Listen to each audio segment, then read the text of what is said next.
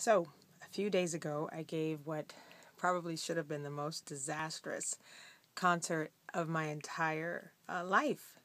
Um, I've been talking a lot on Twitter about a concert that I was very excited for. It was at a local club here in Houston, which is not my normal setting. I'm in my closet, by the way, hence the colorful background. Um, so I show up and I'm excited to do what's supposed to be the debut of lots of new music from my upcoming EP, Playing with Fire. And in order for me to play this music, I have an electric piano there with me, and I'm supposed to be able to play back beats from my laptop. Long story very short.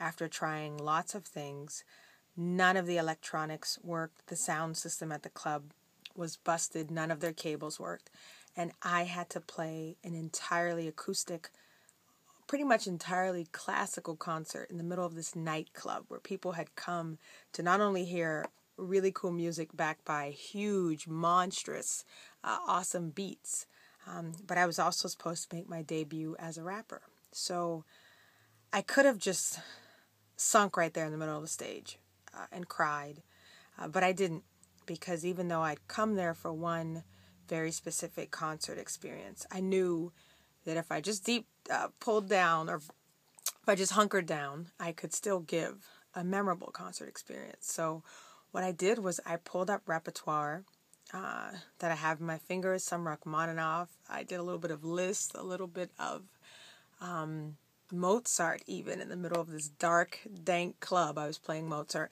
Hair like this, fire red, which is supposed to be representative of this new EP, Playing with Fire. And I gave the best concert I could. And lo and behold, uh, the audience, even those who were not there uh, to see me, they'd come to support other bands, were really having a great time. Many were really blown away by this completely classical recital. And because I had promised the audience uh, that they were going to get the chance to see me try my hand at rapping, I didn't want to just give that up because there was no music to back me. So I had the audience actually clap along. Uh, and I gave, I, I did the rap a cappella. So it was not the experience I'd gone there to give. It was not the one that I had been playing up in my head over and over. It was not the concert that I was so excited to deliver uh, for the last few weeks. But instead, it was a concert that still was an adventure. Uh, more of an adventure than I expected for myself, but an adventure for the audience, and they enjoyed it. And that's what you call winging it. You know, winging it is not something you plan to do. You should always plan to go in prepared, plan to deliver the best thing possible.